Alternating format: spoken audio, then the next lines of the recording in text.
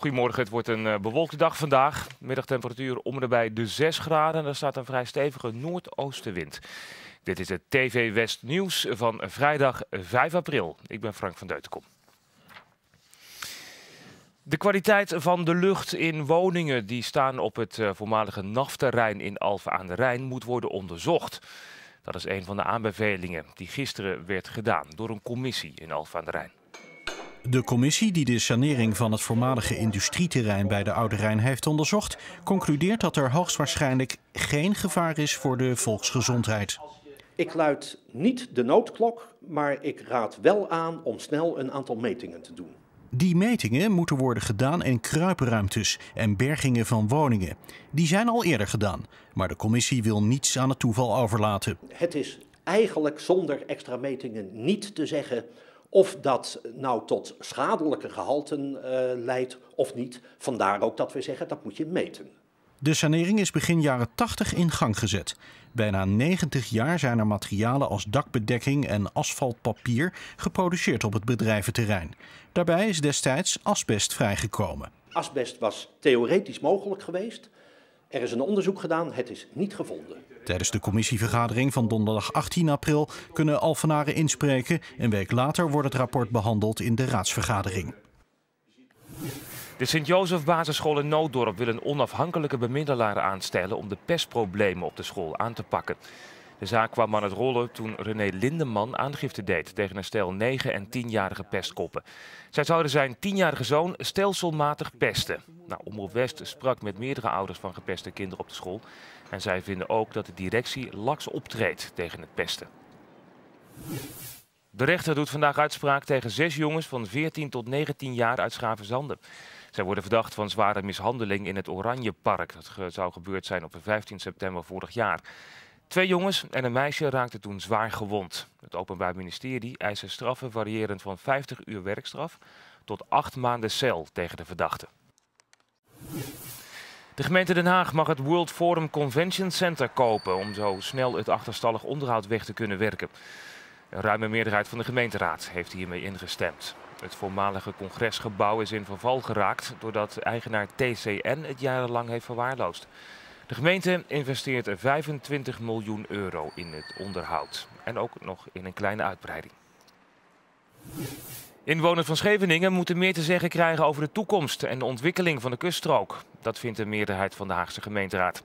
Onder Scheveningers is veel onrust ontstaan door ontwerpen van Hommerson Casino, dat een enorm vermaakcentrum wil gaan openen in Scheveningen.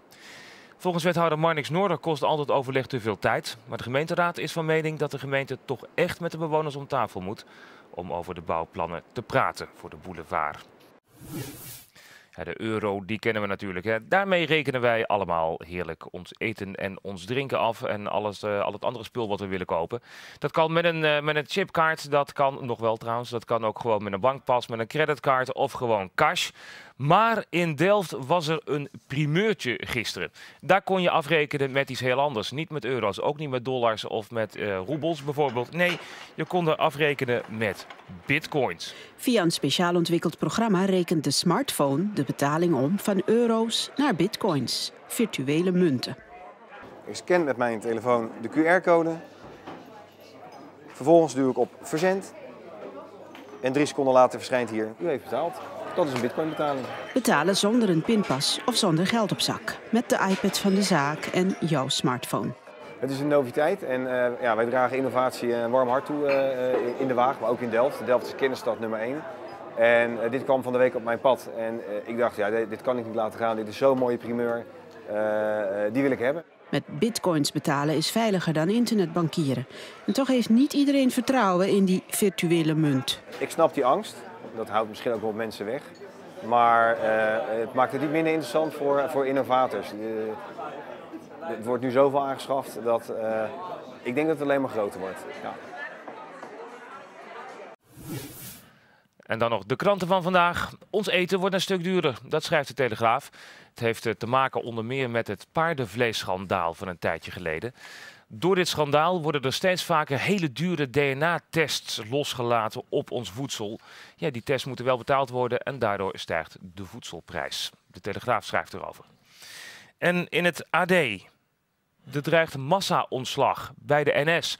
De Nederlandse spoorwegen hebben een extern bureau gevraagd om eens te kijken naar de organisatie. En dat bureau concludeert dat er vooral op de ondersteunende diensten wel een bedrag van schrik niet, 100 miljoen euro bezuinigd kan worden.